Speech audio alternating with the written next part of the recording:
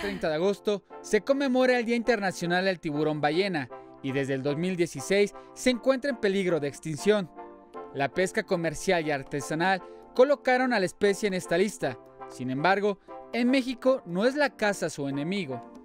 Eh, yo te diría que en México definitivamente no tenemos ningún registro de que haya alguna caza ilegal de tiburón ballena.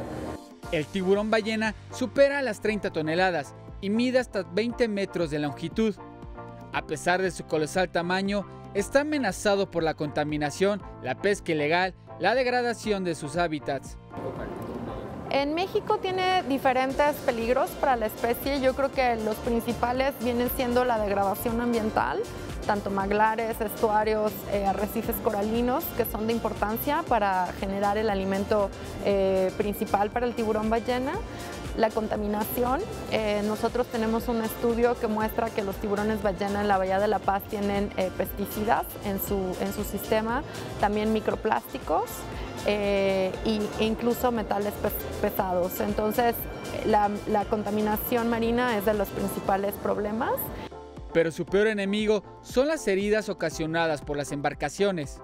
Y de ahí las colisiones con embarcaciones, eh, puede ser tanto embarcaciones que van de paso como por el turismo. ¿no? Los especialistas señalan que el turismo es importante para la conservación de la especie y es una fuente económica para las poblaciones aledañas, pero este debe ser controlado. Mal llevado sí podemos tener problemas como en La Paz que hasta un 60% de los animales eran dañados por embarcaciones, de ahí la importancia de la investigación, del monitoreo.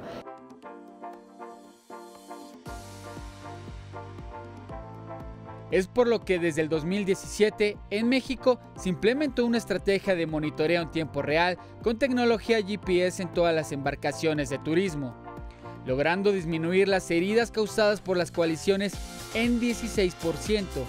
Y recientemente se han instalado 102 dispositivos celulares que nos permiten tener un monitoreo en tiempo real de cuántas lanchas hay en el agua, a qué velocidad van, y esto está permitiendo a los mismos operadores regularse ellos mismos, porque ellos son los primeros que quieren conservar a la especie, y por otro lado también a, las, a las autoridades para establecer las medidas que sean pertinentes.